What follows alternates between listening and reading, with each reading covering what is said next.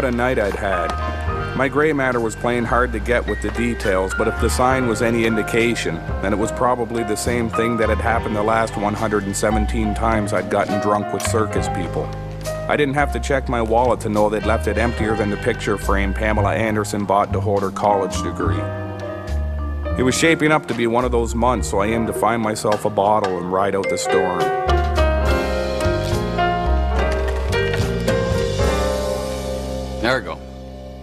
I inaugurate an inducement to the court that ad fictitious arrestation of my client constitutes a grievous scurrility unto his just entitlement. Given that the prosecutor is unable to adduce collateral attestment, I further bequest the court that this affair be classified a mistrial and that all injunctions against my client be rescinded and annulled. God, I hate this guy.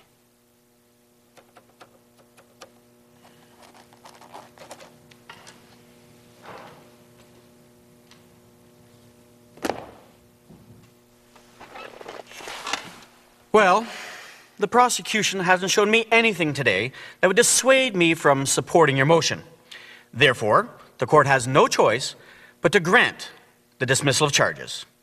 Mr. Rubella, despite what some may consider the interest of justice, you are now a free man. Hey, thanks, Barry. No, I mean, uh, Your Honor. Yeah, it's not like I don't owe you a hundred favors. Dismiss.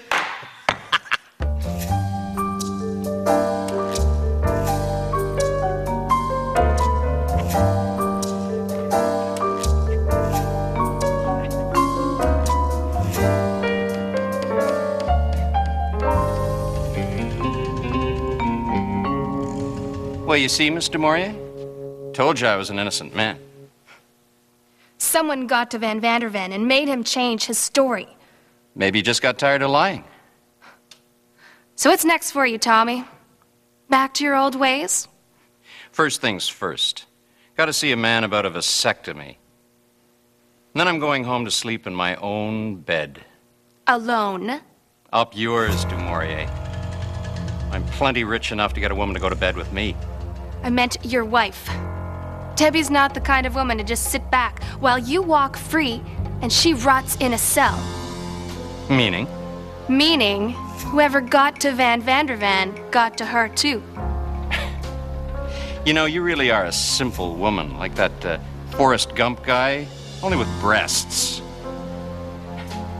Oh, I, I assume you're still in touch with the Swede, or uh, Serge, as you like to call him. Will you tell him? Tommy has no hard feelings against him double crossing. In fact, I'm looking forward to burying the hatchet.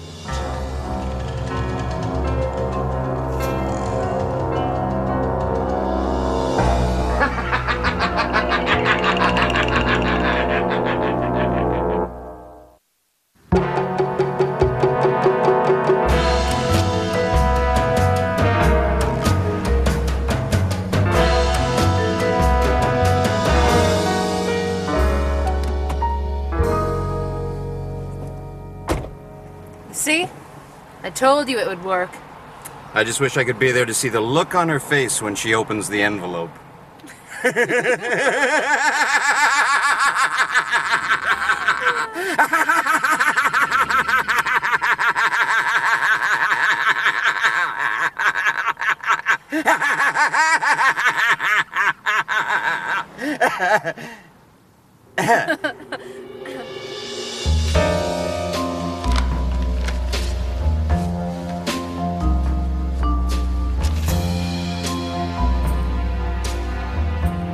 Divorce? You bastard, Tommy. I want to see my lawyer! Right now!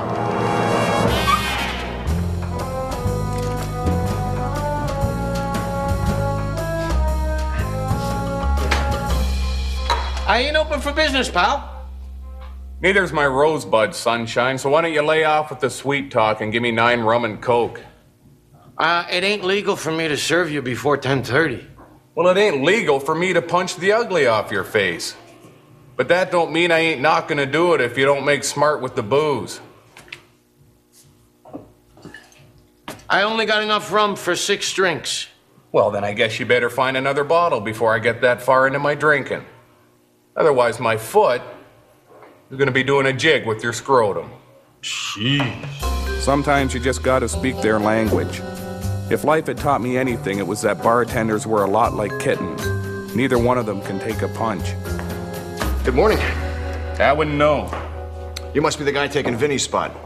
Well, only if Vinny was planning on spending the next 14 hours sitting here getting tanked. Nah, nah, he's just some guy looking to take the edge off. Oh, my apologies then. Vinny's guy called and he ain't gonna make it. Ah, we can't play without a fourth. Hey, mister, you uh, ever play any cards? Do I play cards? Does my parole officer feel I'm a high risk to reoffend? I don't know. Well, maybe it's best we keep it that way, Flyboy. We got a small room set up out back. Uh, nothing too fancy, just a place where some friends can uh, uh, gather together for some cards, a few drinks, uh, make small talk, that kind of thing. We're kind of over a barrel trying to find a fourth. So, how's about you sitting in? How's about you? Say please when you ask me a question, you hideous looking prick.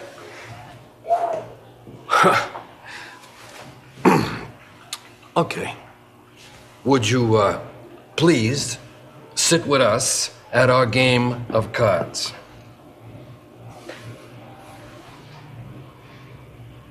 Why not? I got some time to kill anyway.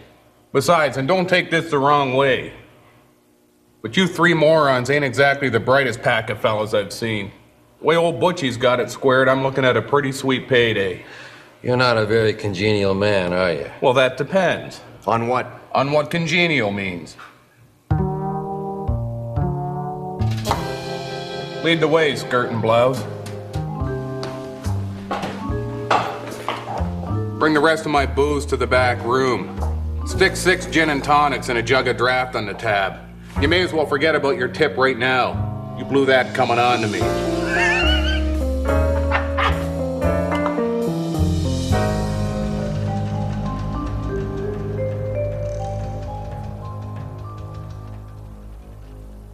You're either the bravest guy I've ever met or the stupidest. What I am is a man no longer worried about dying. Why? Because you gave Tommy Rubella his walking papers and fingered Debbie Hitler? I didn't finger Hitler. Somebody fingered Hitler. I'm no fingerer.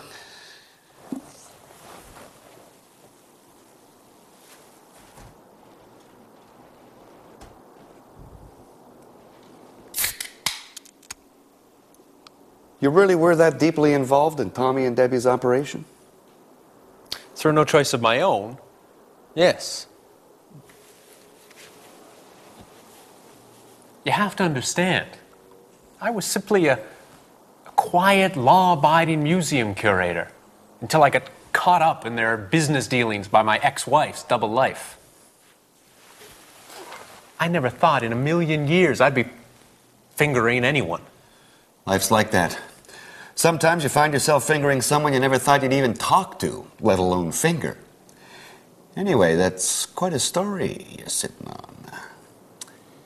You should write it down in a series of sentences and paragraphs that can be assembled into what them academic types call a book.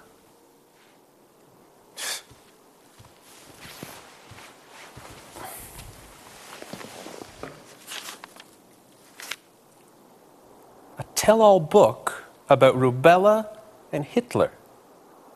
You really think there'd be much of a market for something like that? Oh, yeah. The public loves that kind of thing. You'd make a mint. Then again, you'd want to, because the minute it hit the shelves, well, they'd both be looking to kill you. Well, to kill me, they'd have to find me first. For that kind of money, I have a feeling I could find some quiet corner of the world to live out my days in opulent prosperity. Something to think about, I suppose. Oh, I'll think about it. I'll think about it all the way to the bank. They were trying to give me the bum's rush and force me into a snap decision, but I wasn't biting. These guys were about to learn that old Butchie doesn't do anything quickly except ejaculate. Well, hopefully they weren't going to learn that. But I was drinking and stranger things had happened. Well, Mr. Patterson? I'm still thinking. It's been almost two hours. This is ridiculous. Not half as ridiculous as that dead rodent you're trying to pass off as a hairpiece. I can assure you that this is my real hair. Well, maybe you should think about getting a mirror. Well, just a minute. Shut up!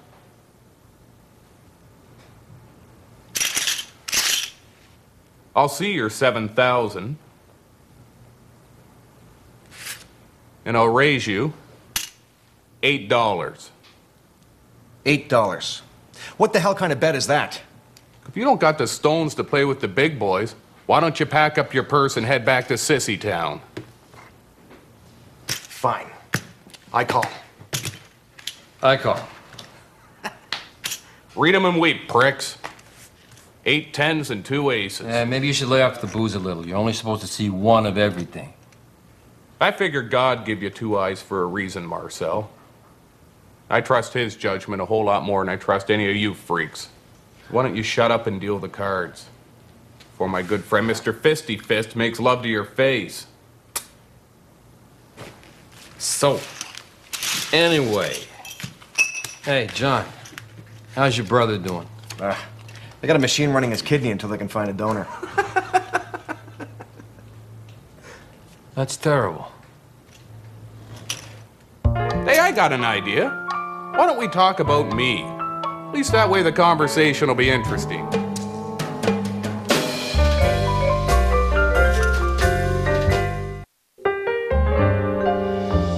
Three sevens. Two pairs, tens and nines. Looks like Butchie's gonna get to try that thing with the prostitutes he's always wanted to do. Royal flush. Read 'em and weep, losers. So whose deal is it? I, I'm out. You guys broke me. Yeah, I guess that's it. Looks like it's been your lucky day, Mr. Patterson. $55,000 of our hard earned money. We can't quit now. You guys still got money and I want it. It's no fun without a fourth. Tell you what, John, if that's your real name, how'd you like a job working for me? Doing what? Well, that's not important.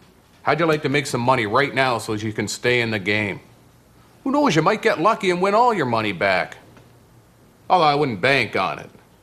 From what I've seen, you are to poker what Galileo was to lap dancing. Yeah, yeah, fine. There's a C note. Go get me 16 vodka tonics and a ham sandwich.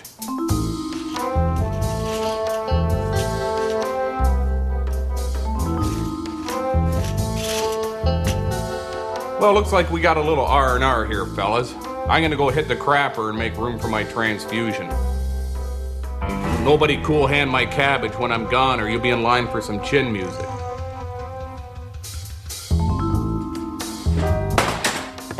Have my boy Friday pick that up when he gets back.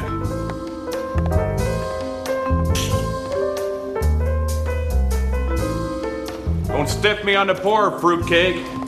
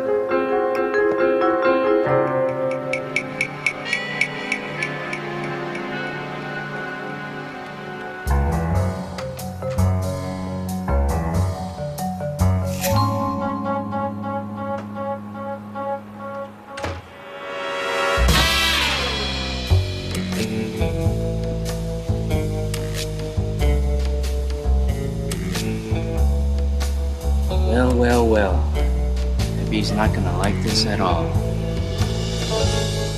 Well, I ain't got all day. Whose deal is it? It's your deal. Ten bucks, John. Deal the cards for me.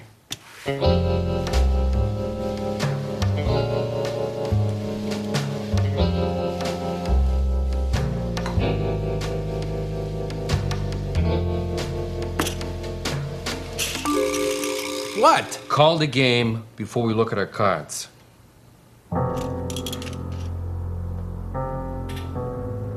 Nothing wild? No draws.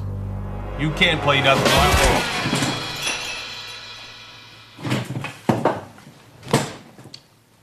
Didn't think that moron was ever gonna shut up. Now, unless you schmoes want to join your friend in La La Land, shut your pie holes and ante up. So we're just gonna bet with what we were dealt. That's right, party boy. Just want to get the rules straight.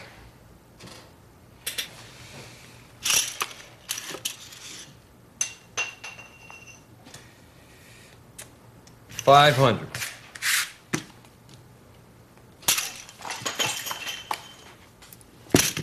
He's in. Can I get an advance on my pay, Mr. Patterson? Fine.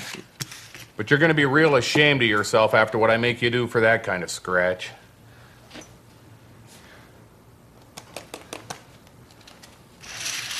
I'll see your 500. And I'll raise you $54,500.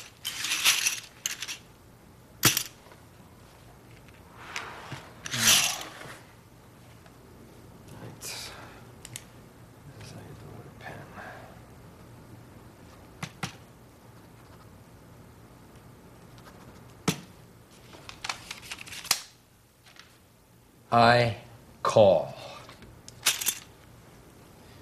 Butch? Go to hell, prick. Looks like it's just you and me, Marcel.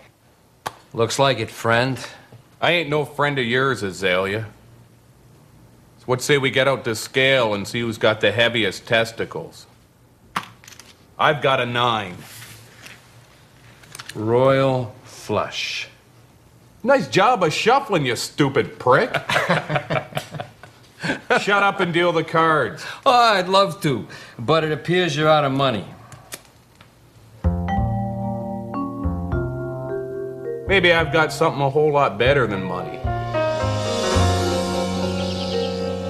So Tommy and Jasmine are back in business. They're the ones who paid off Van Vandervan. I can't imagine Vance being too happy about the woman he loves leaving him for Tommy. Meaning? We make him a better offer. One that allows him to get out from underneath Tommy's thumb and get back at his ex wife. We don't have the kind of money Tommy has. We can't match what he's offering. There are some things more precious than money. Meaning? Quit saying that! His life? I'm sure Jasmine and Tommy threatened him, but I'm also sure he is decidedly more afraid of me than he is of those two. You do have a reputation. Get to Vance. Before he leaves town, tell him to stay in contact with Jasmine and Tommy like it's business as usual. And then he can report back to us about what they're up to. What if he doesn't want to play ball? Then show him these pictures of what I did to those two beauticians in Edmonton. Tell him he'll get it much worse unless he cooperates.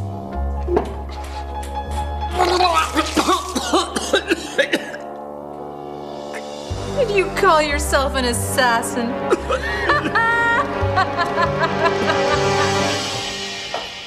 Hey, thanks for the cooler. We'll get it back to you soon.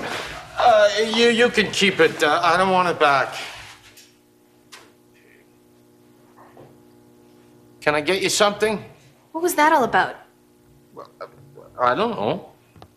Give me another round, Buttercup. Oh, hey, Blanche, how's it going? Oh my god, Butch, what happened to you? I bluffed and they called me on it. Drop a dime to the medics, pronto. I, I had no idea what was going on back there. Uh, those guys must have come in the back way. I mean, call an ambulance, now. Were you shot or stabbed? I run out of greenback, so I bet my kidney. Word of advice don't pay to gamble with a major organ on the line. I never had that prick already figured for a surgeon. How's that round coming, arsehole?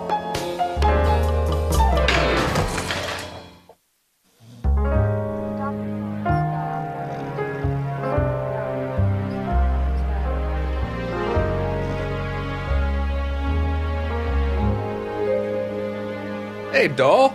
That prick ever bring me the rest of my drinks? You almost died, Butch. So what? It ain't the first time I stared death in the face and he blinked first. So what are you doing anyway? I need your help. Vance Van Vandervan recanted his story and cleared Tommy. Tommy's out now and keeping time with Jasmine. I figure Vance is somewhere in the background. I need your help to find out what's going on and who's doing what to who and with who. Well, I got bills to pay, baby. I don't work for free. What do you want? I wouldn't mind a new kidney. How does 500 bucks make your girl spot feel?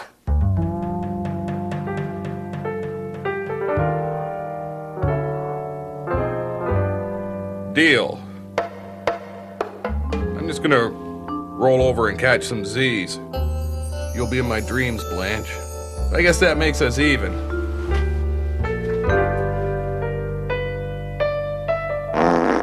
Excuse me.